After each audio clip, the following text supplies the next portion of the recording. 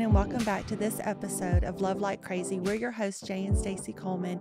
So glad that you've joined us today. And I just want to give a shout out to all of our listeners. Thank you so much for following and sharing and subscribing to this podcast. And listen, if you could give us a rating or some reviews, we would love that. That helps us get the word out. And so today we are joined with some very special guests. And so, Jay, why don't you help me welcome our guests here today? Yeah, we're going to have fun today because we have Carlos and uh, Carolina Flores with us today. And Carlos, you, you guys have probably heard us reference him before. He's the one behind the camera. Uh, they actually own Hi Hello Labs and they work with different individuals putting together podcasts, creative material, and they're a lot of fun to work with. And we are just so blessed to have them in studio with us today. Actually, Carlos, we're in your studio today. Yes. Normally you come to us, but today we're yeah. in your yes. studio. We, Man, we, I got to tell you, y'all's place is beautiful. It is. Absolutely Thank you. beautiful. Thank you. Amazing. We had to make a swap, you know? And I keep things spicy between the relationship. so, how does it feel to be in front of the camera as opposed to being behind the camera? Well, I'm so used to it. well, kidding. Carlos loves it. We're still debating if he loves the camera or the camera loves him. I got but you, you know, I think I think it's a, both. Yeah, we have a mutual relationship. Yeah. Carlos, I got to say, you look you look nice. You look on camera. You look nice. Thank you. Appreciate it.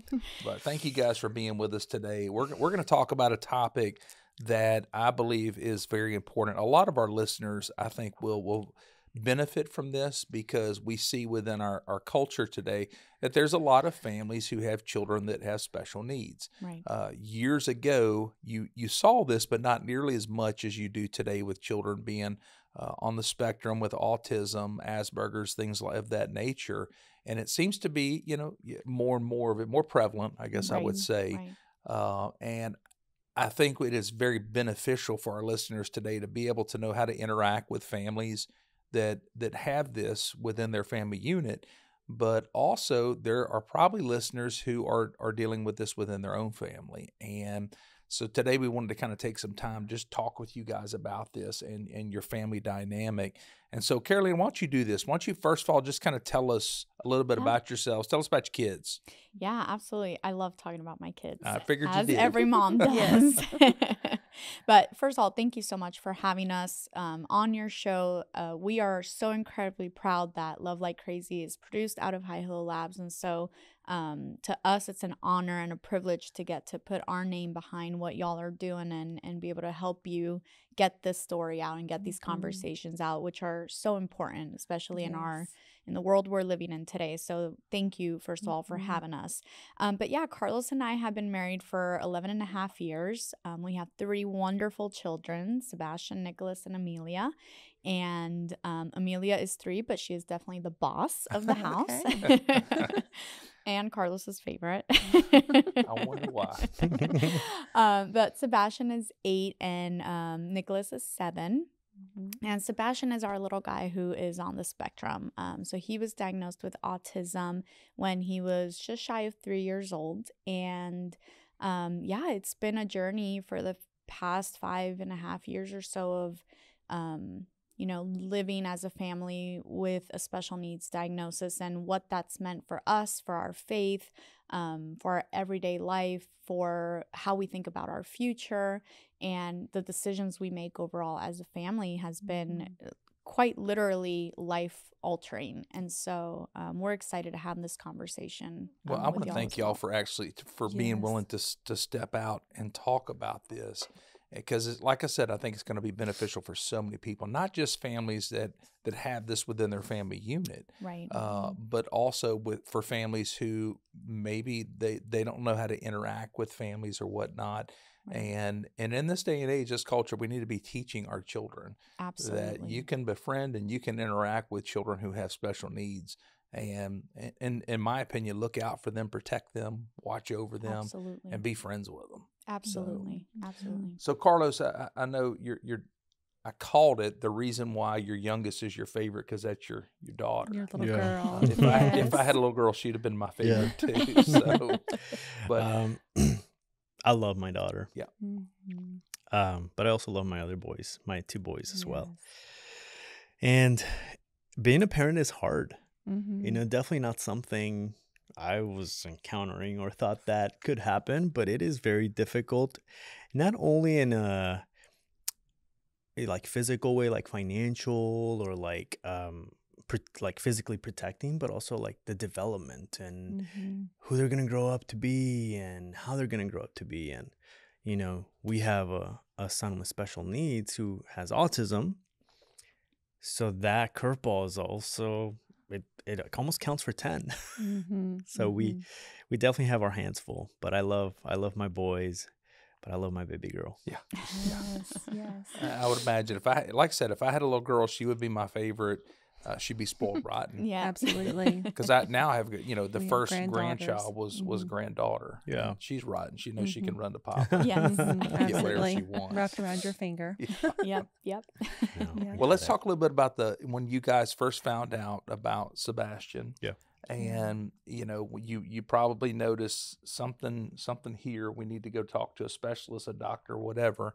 What were some of the signs that y'all started seeing? Like, hey, we need to go talk to our doctor, his pediatrician, and find out what's going on here. There's some challenges. Yeah, so um the first thing I'll say is that um Sebastian had a very he was my our firstborn and so you know as a first time mom and I'm sure Yes. um Stacey you can relate to this you just you don't know what you're doing right, and so everything just feels like you're just like Mhm. well I guess this is normal I I all right Yeah. and so um his delivery was was pretty rough experience and um shortly after we noticed things like he never crawled. He would just scoot or um he would babble but not necessarily have any words or um it got to a point right around he was 18 months old um Nicholas had just been born. So we got pregnant with Nicholas when Sebastian was just nine months old. So here you Mhm, are with a baby, and now you've got another baby coming, and you're just like, there's so much happening. Um, we started noticing some regressions. So skills that he had, things like he was able to, you know, feed himself with a baby fork. He couldn't do that anymore. Mm.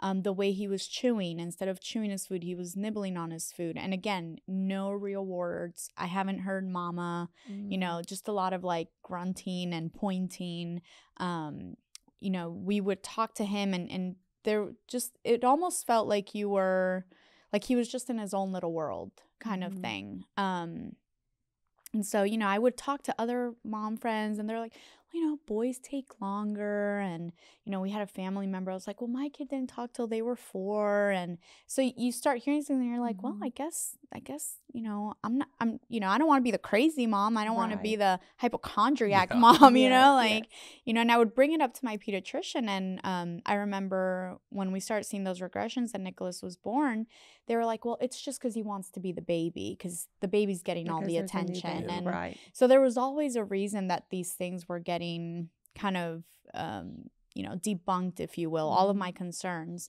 and i will say this as a mom and i know stacey you will Mhm. probably agree with me on this we just have an instinct we Right. just know Yes. right there's this gut instinct as a mom that you're just like You know something's not right. You just can't put your finger on it. Yes, Right. something's not right. And so Carlos and I would get into arguments all the time because he's like, you know, you're just overlooking into things and why you gotta be so dramatic? He's Mhm. fine, you know, he'll grow, he's just, you know, he's a boy, he'll grow into Mhm. it. And he was in a lot of denial. And I just, I'm so glad that I didn't um give in to that Mhm. because I'm like, all right, well, that's fine. You go off. At that point, he was traveling a lot for work and and just working a lot, and so it was just me and Sebastian for a little bit there, and then I've got Nicholas, on, you know, on my hip, and um, I started making all the appointments, and so what I found out was that um, these appointments take forever. You get put on wait lists Mm. for everything that Mhm. has to do with with these appointments and neurologists and all this stuff, and so um, I remember just like, all right, that's fine. Okay. Meanwhile, we're on a six month wait list and I'm getting ready Yeah. to to get him in. And so yeah, long story short, um, we were able to get him in with a behavioral pediatrician. And they about two hours later, after an evaluation, they gave us the diagnosis. Mm. And so um yeah, at that point it was for me, it was a bit of a relief because you're like, okay, I'm not crazy. At least you have an explanation. We have an explanation of why, you know, he lines things up. He doesn't play like a normal little boy. Mhm. You know, all his toys were lined up. He was hyper focused on trains. Like there was just things that weren't normal, you know, Mhm. quote unquote, what is normal, but normal. Right. Um, and so that for me it was a big relief of like, okay, now we can do something about it. Now we know what it is. Mhm. There's a name to it. We can do something about it. Um, whereas Carlos' experiences was a little different because to him it was like a bucket of cold water. Right. Mhm. You know, he just he was not expecting that, even though I had been telling him for months Mhm. that, hey, I don't think something's right. So Yeah. It's one of those things that you never think is going to happen to you. Mhm. and you just i mean i've been i've been hearing some of your episodes and some of your interviews with some of your guests and it's also like things that you never think it's going to come your way Right. Um, You're blindsided by it. oh completely completely and here's the thing i grew up christian christian home good ethics god all of the above i was a great kid great student kept my sexuality, let's just say, pure till marriage, like never slept around or anything like that. So, as well as my wife did. So, here I am, married, was a virgin when I got married. So, I'm like, God, I've kept all this to honor you, Mm-hmm. to do all this, to obey and be good and all these things. And it's like, and you just gave me a child with a problem Mm. that the problem will be a, is a condition because they'll always have it. So in my mind, there was a lot of anger. Mm-hmm. Did you feel like maybe like I've been good, I've done all these things, I deserve. I deserve this? yes, yeah. Did I you did. feel like maybe the Lord was like, what, like this is a punishment, or no, I couldn't understand it. And to be quite frank, and I probably one day when I if, when I meet him, I'll ask him, "Is- wh- wh- why? You know. Mm-hmm. Now, do I love my son and do I see now a purpose? Yes. But it's always hard to see things in the world, in the natural world. It's like, why why are all these kids, you know, being trafficked or hungry or killed or whatever? You don't understand why. Like there's a lot of whys that we don't Mhm. understand. So one one of my why is like, why did I do all this? kept myself and I have a son with a condition, yet there's all these friends of mine who slept around and did all these things Mm-hmm. and their kids are perfect, Mm. quote unquote. Yeah. You know? And I think, I mean, and I want to speak to that a little bit because I think that is the reaction of a lot of, especially Christians. Um, and I think it's a old way of thinking of like, well, there must be this punishment yeah, for my sin. There must be sin Mhm. in our camp that Yeah. we are being punished in this way. And I think part of um, where I think the church can start really making some change and differences and really serve our community as special needs families well is starting there by changing that thinking of, Yeah. Yeah. hey, it's not a punishment; it's a blessing. isn't a punishment.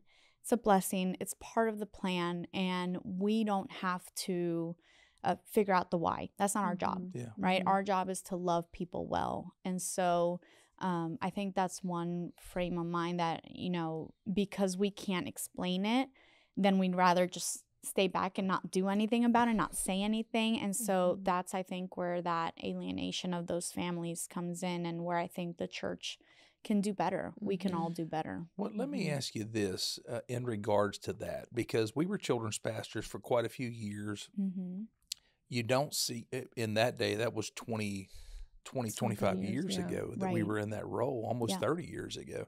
And you didn't see nearly as many children with special needs as you do now. Yeah. Autism was almost non existent Right. in that day and age. So there, there's got to be an explanation for why we're seeing a rise in this within our society. Absolutely. We, we have some some guesses. People talk about it. I don't want to get into all that today. Yes. Yeah. but within the church, our philosophy, we were children's pastors. Uh, we don't want to separate these children and put them off in a room by their, you know, Mhm. in another special needs room or whatever. We want to include them Right. in what's going on and have workers with them and have the children accept them and love them. Yeah. And that's kind of what we have done at, at our church at Journey. Uh, and it's kind of been that mindset from day one. Right. And we're seeing more and more of that. You know, now there have been some children that we just weren't, you know, equipped Right. you know, to be able to, to handle some of the needs that they had. But by and large, most of the children that we've had come in that, that have these needs, they're just right smack dab in the middle of everything. Yeah. And, and that, it depends on what, you know, what Right. their, uh, there, there may be some sensitivity to lights or things of that nature, and we have to deal with that. But by and large, our, our mindset has been just to keep, include them right in the middle. Because to me, it doesn't separate that child, but it also teaches the other children Correct. to be very accepting of them. What What are your acceptance, thoughts with that? I think that's wonderful. And I think that First, that is thank you yeah, for th- thank you on those behalf of all those families that I sure feel, you know, very seen and heard. And I will say this, Carlos and I actually um one of the reasons why we stepped away from church at the beginning was that we were a part of a big church that we thought would embrace our family with Mhm. open arms and the reality was they one were not equipped but two didn't even try to figure Yeah. out what our needs were and what you know what we needed as a family and it's very disheartening when we're in worship and we put our kids in the kids section and kids church and you just kept seeing that number pop up come get your your kid come get your kid Mhm. come get your kid and you're just like why are we here Yeah. why are we here then we try to bring him in with us and you know our our son loves music he loves worship he loves dancing i wonder who he takes after just being in the spotlight and it was very sad that he would get up to dance in the aisle and an usher would come in and tell us he needed to sit down. I'm like, he's a kid. Like, Yeah. he's a child. Mhm. He's worshiping. There's music on. Like, why is this a problem? Um, And then it was like, "Oh, that well, you can go in that like, room. You can go in that room with it's the nursing darker family. and you all know, the parents are there and it's like well might as well go home and watch it online Exactly. and so we got used to the online. It was funny because when COVID hit and everyone was freaking out about going virtual, well, we were already Used to it. Used to that. Mhm. And I mean, honestly, Stephen Furtick's church and Elevation, they were kind of a bit of pioneers in that. Um, you know, we were part of the eFam. Like that was our Mhm. church Yeah. for for a little bit there. Um and I think now we we found a, a great church, which is actually where our kids go to school, but they're doing it really well. And um, I think it's amazing, you know, that we can include the kids that can be included, and you know, have a safe space for the kids that can't. I think a lot of churches are realizing this isn't going away, Right. Yeah. and it's it's getting you know you're seeing a, a, a rise in this area, so we, we need to be able to accommodate that. Eh, My mindset wasn't to to simply accommodate it; it was I just didn't want these kids to feel separated and excluded Yes. from Yeah. everything. I wanted them to be able to, and at the same token, I wanted our children, not just our kids, but kids in general, Right. uh, to be, to be accepting of them and loving towards them. Now that does not mean that you do not. Some kids are scared.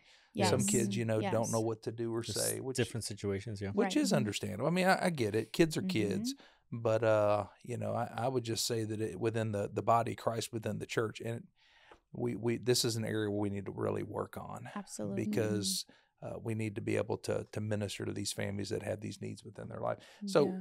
you felt relief whenever you got the diagnosis, Right. and I'm uh, it's I. I guess safe to say maybe you felt a little bit more surprise or shock. i I think i went through like the five stages of grief Okay. It was a process. it was a whole process it was months because where i was in denial and then after i accepted the condition i was angry Mhm. then after being angry i was um Sad. sad and then i was bitter and I was sad again and then bitter. And then finally it was like, okay, this is life. But it took about six, a good six, seven months. Our marriage took a toll on that process because you have a warrior going after, like, I'm fighting for my child and giving him every opportunity. Mhm. and at that time, we had another baby Mhm. because they're they're uh, 18 months apart. So we have another baby. We have a child with special needs. We're going through therapists, and it's like one bad news after another after another, and I'm like, oh my, Mhm. because it wasn't just, oh, he has autism. Oh, now he needs feeding therapy. Now he needs this. Now he needs to go to the eye doctor. Now it's like Mm. all these things just kept like escalating. And as a parent, you're like, it was overwhelming. it breaks you Mm, because, for example, feeding therapy was really bad for me because they strap them mm. to a point where like Well, okay. Let you make it sound like they were torturing the kid. no, it wasn't torture. But as a parent who doesn't but- see that, it's like, Yeah. what are you doing to Because my you didn't child? have And he's crying, Yes. banging his head, like he he he doesn't understand why he's being strapped because again, he's very limited in his diet, so he eats very little, very few Mhm. things. So we're trying to get him to like eat more. So to me, I'm watching and I'm like, I'm in the break of tears and I'm angry and it's like I want to slap the like the doctor or the therapist but I and we knew it was good for him. Like it, it was a Mhm. process, but for me, it took me a while. Where Carolina was like, "We can do this. I got you. Okay, I I know it hurts, buddy. I'm with you." And with me, it's like I internalized all the anger, Mhm, and I just wanted to like bulldoze, like, "Get your hands off my child." So mhm. it definitely was a process for me. It was a process in our marriage. Um, but this is where I think, like you know, God sent us in pairs Mhm. because during that time I probably would have, you know, not been okay. not been okay where she needed to be strong and ca- and she carried uh, Mhm. us a lot and I was traveling a lot too so she was carrying most of it on her own and I was just like how is she okay Mhm. because again I'm human I'm feeling these things I'm sure she's feeling a lot of these things. Mhm. but I guess the timing she Mhm. didn't it was like i don't have time to cry cry you a river or cry life a river i i, I need Mhm. to like push Right. through Yeah. now if you want to cry a river go in that corner and deal with it yourself but right now We i got have work to, to, do. We've i have a work to do. baby Yeah. and i have a toddler Right. and the toddler needs me In other words, Mhm. she's basically saying, "Hey, if you want to cry, I need you- go cry, get it over with, but check back in because I need some help here." get your behind Right. here because i'm not doing this alone now i thank her because she was patient in that process and she let me process it on my own but she's done many other things again entrepreneurship is another thing that we can talk about that later but she's been such a a pillar in this family and i think you know moms are that's who they are in the family they're the heart they're the pillar they're, they're the ones that keep everything Oh, They're together going to advocate for their babies. That's right. so Sure. there was times where I would get upset because he didn't want to go to sleep. You know, and we have all these all our best friends' kids again. They're super good looking. They're super well behaved. They're very smart. So the nucleus of our of our friendship, of our friends, all their kids are great. And then it's like Sebastian. So for a long time, that also had me like, God, I come from the same line of people. Like, why? But what, what we loved and what was great is that our nucleus of people helped us. Mhm. We had a great support system That's from our family to our friends Mhm. to like anyone that was around us. And then we started realizing, okay, well, not that I realized, God told me, you're not going through this for you. You're going through this for those who are going to come before you, after you. after you. Mhm. And I'm like, okay, I get it. And and and sometimes we go through grieving processes Mhm. and it's like, why me, God? Why me? It's like, buddy, it's not about you. It's about those that are going to come after you, that are going to need you to speak into their lives, to help them, to support them, and to shed a light because they won't have the strength that you have right now. Right. In other words, it's not about you; it's about what I can do through you, Yes. Yes. Mhm. what I can accomplish through your life down the road. Mhm. So- Don't steal that. That's my message. yeah, you Uh, know, it was very cool. And um, just to interject this part that not cool, but just um, God in His mercy and just shows the nature and the character of God. I think too that um, while we were going through this, part of the feeding program um, was we had to basically live at the children's hospital for five weeks. We would literally go home and sleep, and then be back at six thirty a.m. all the way to six thirty p.m. And we were there all day. And I will tell you, nothing is more humbling, I think, as a parent to have to sit through a children's hospital, every day for Mhm. five weeks Yeah. and see other parents with their small babies going through cancer, going through um, life threatening situations. Mhm. Um, even in his feeding program, other children that are going to live with a feeding tube for the rest of their lives. Just situations that you're like, wow, I don't have any problems. My life is Mhm. absolutely perfect. Um, but because we were going through that and because we were there, God opened so many opportunities for me to pray with families, to give families Oh, hope that wonderful. don't have Jesus, that don't know God, that Mhm. don't have a relationship with Him. And yet I was able to be there to be light for that person. Um, and not not like, oh, look at me, I got to be there and pray with them, but like God in His mercy, Mhm. right? Like we don't know that what those families were going through, those Right. marriages were going through, and they Right. needed Jesus in that moment. And um, I just humbling that I got to partner with God in those moments, and that would have never happened Yeah. if Right. me and Sebastian weren't there. Right. So, and you that- think about it sometimes people are like you're like oh i understand what you're going through no you don't so a special needs family knowing what other families are going through and they're praying for them it's almost like you do get it Mhm. yeah, you know what i'm Mhm. saying like it's like a cancer patient or a cancer survivor praying for a cancer patient Right. they understand each other they Mhm. understand that pain It's terrible Mhm. to say it in this way, but it's kind of like you're you're in the club. Right. You, you know, you're Exactly. you're you're part of this family. Yeah. You're in the club. and in So some you ways know. you feel like Yeah.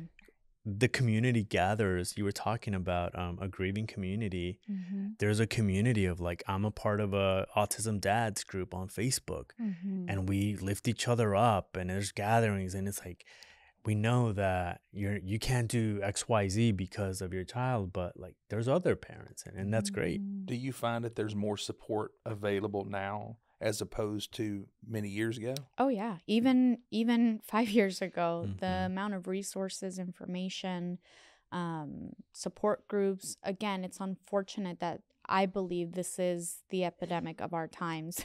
I really Mm. do. Um, and yeah, I won't get into that. I'm not trying to get canceled on the show. Mhm. Um, but yeah, this is a, a problem. But at the same time, there is this support system that is Mhm. available now. And because there's so many families, you know, I think the world is waking up to, hey, we've got to we've got to We got step in and, and situation. Mm-hmm. provide Yeah. resources. I Yeah. think that by and large, there's been a lot of you know wanting to just pretend that something's not there, Oh, for sure. or sure. it's in such a small number that it's not really worth paying attention to. Right. And hopefully, the the, the medical establishment's waking up Right. and realizing that there's something to this. This is not just you know happening to, to couples on a more frequent basis, but something is causing this. Absolutely. And, And- they will, I will tell you, I think they saw it during COVID, but the medical establishment is about to, is seeing the wrath of some fierce mamas Yeah. and some mama bears that rising up, we're yeah. not taking your answers anymore. And Mhm. we, that gut instinct is in full effect. Mhm. Well, I can tell you that uh, y- I love my wife. She's beautiful and loving and sweet, but you want to see the claws come out and mess Oh, with yeah. the kids. Yes. Mess with For them sure. Mama And bear. Mama very bear wakes up and it's like it can get ugly real quick. yes. Yeah. Yes. So let, us talk about you know whenever we we think of your children, you've got uh, one with special needs and two that are neurotypical children. They, Mhm. they you know they don't have the needs that Sebastian has. How you balance that? How does that work out on a day to day basis as far as and how do they do they just view Sebastian as just their brother? I mean, it's not like Yeah. It's really sweet. Um they first of all, I think and I, and I think this goes for every family, right? Like every child is so different. Even Mhm. if Sebastian was neurotypical, like they're just so different. You're like, Right. I birthed all three of you. Why are all three of you so different? One of you is crazy for sure. Yes. So, um they it's not- they're all it's not sebastian and it's not Sebastian, I'll tell you that much. No, they're all so different. Um, and so you parent them uniquely, Mhm, right? right. Um, and you love them uniquely uh, for who they are. But I think giving Amelia and Nicholas um, some very important quality time and giving them the space to do some of the activities and things that Sebastian can't participate in um, is is very important to us and to Mhm. them. And the other thing is educating. Um, you know, Nicholas knows that Sebastian, Amelia's too little right now to understand, but um they it's interesting even amelia though does know that hey there's some special accommodations for Sebastian because he has different needs.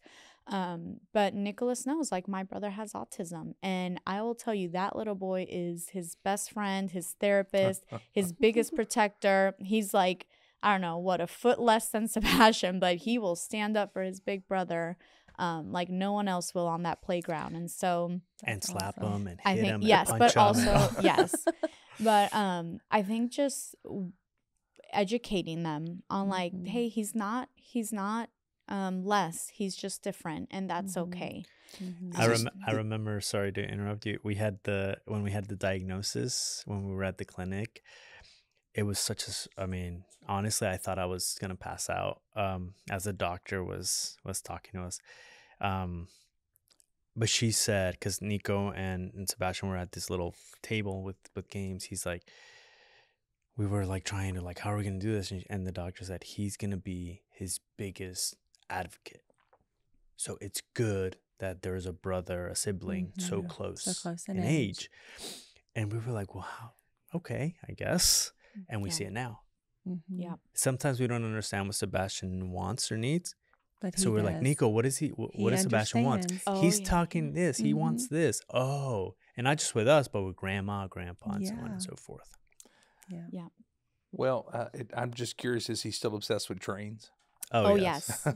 He will There's tell more you. So, obsessions so he actually didn't um have full uh language till he was about six. So um even now he can't carry a normal conversation like you and I can, but he can talk and express himself verbally um to his capacity.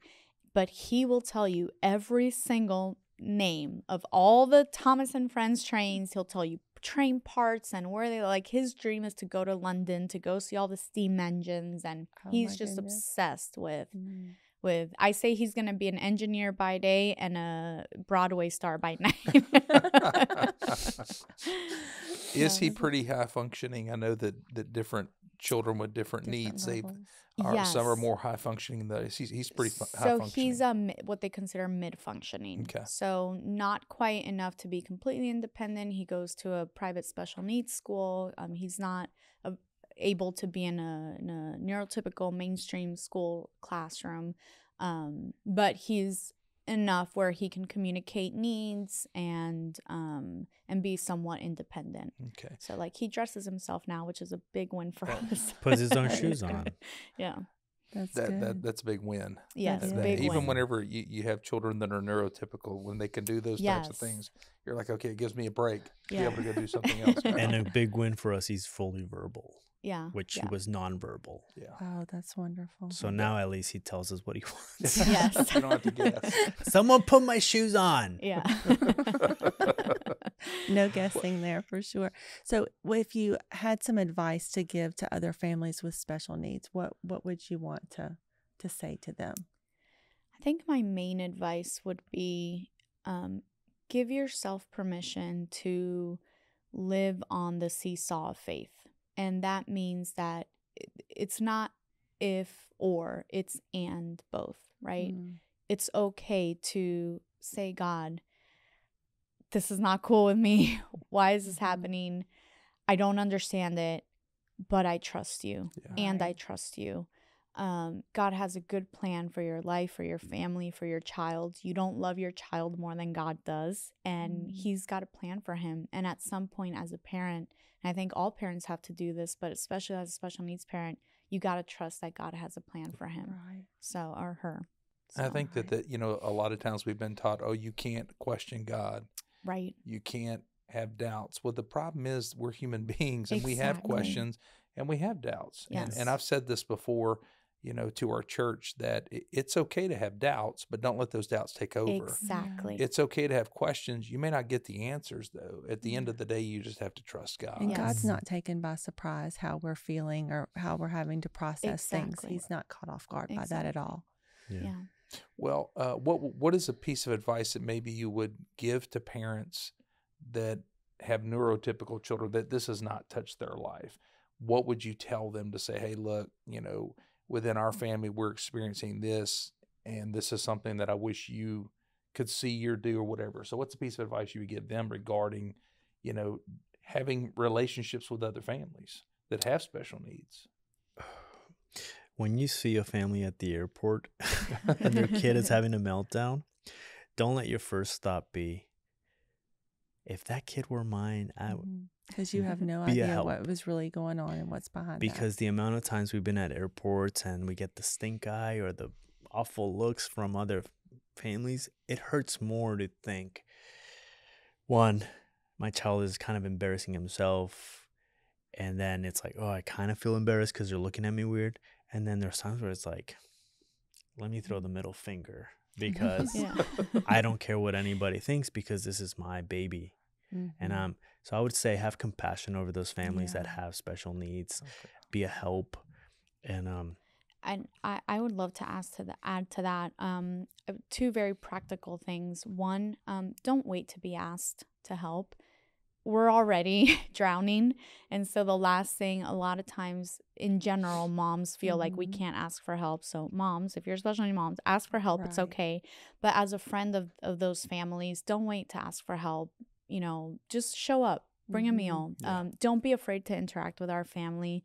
Um, one thing that I love about our friends is they're not afraid to just treat us like another family and ask questions. Hey, would this be helpful for Sebastian? Would this be okay for your family? Hey, we would love to come visit. What would be the best way to do that? Like, just ask questions. We're Yeah. normal families with, and we just, you know, we want to be involved and do those things. And if I don't have to put myself in a position that is like, hey, just so you know, but you come and ask me, it shows you care and it shows that you Mhm. see my family and that you genuinely want want to be around us. So Yes. include good. them, include Yeah. them, like be inclusive with and those ask, families ask because what that would look it's like. very easy to become isolated because Mhm. you don't want to burden or or you know bother anybody, but like we want to know that you want us around. Mhm. Even though we Mhm. have a kid on a wheelchair or we have a kid that we need to feed or something, because it's Mhm. important to communities. communities Yeah, community's huge. important. Huge. You're Yeah, right. we, we do in have our neighborhood last story where we used to live our, our our kid was known as the naked baby because he would run off naked in our neighborhood and it's like he was running down but our neighbors there was a point where we had to tell all, all our neighbors like hey listen we have a son with special needs because there was a time where he would open the door and just take off so we had to and naked so we had to like you know kind of warn everybody and tell everybody and everyone was so on board and supporting us and taking care of it Oh, that's good. Yeah, So- he ran out one time, and our neighbor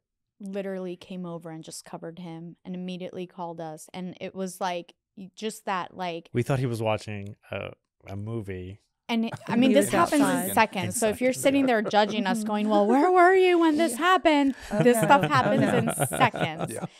He's a Um, runner. But thankfully, because our neighbors had asked and they knew, everyone knew, like, oh, okay. And it was so beautiful to see how immediately, like, someone came and covered him. Yes. Somebody else came and ran to our door. And it was just like this community effect of Mm, That's wonderful. everyone, we're here for you. in an, a gator infested Yeah. State Yeah. yes. Right. That, that has its own Oh, challenges. scary. Yes. Yes.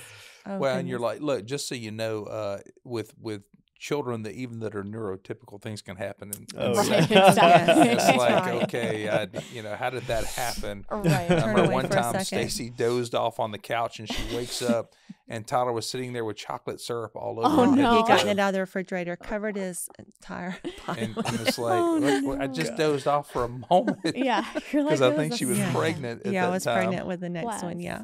So, well, thank you guys so much for for being a part of this uh, episode and sharing, just being real and Yeah. honest. Thank you for sharing your story.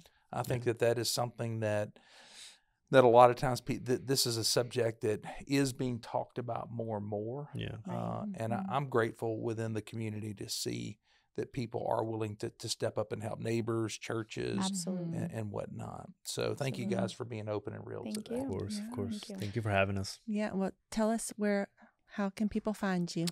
well um i'm on instagram so follow me on instagram at um at carlos flores And then the name of our business is Hi Hello Labs. So if you ever have any media needs, at Hi Hello Mhm. Labs. Yes, and we highly recommend them. Yes, and I can be found at Instagram as well at Carolina Diplon Flores. That's a lot, so we'll have it linked in the show notes. Um, but yeah, if you are a mom and you just need someone to talk to, feel free to DM me, and um, just love having those Mhm. conversations and being there for for you. It's so. wonderful.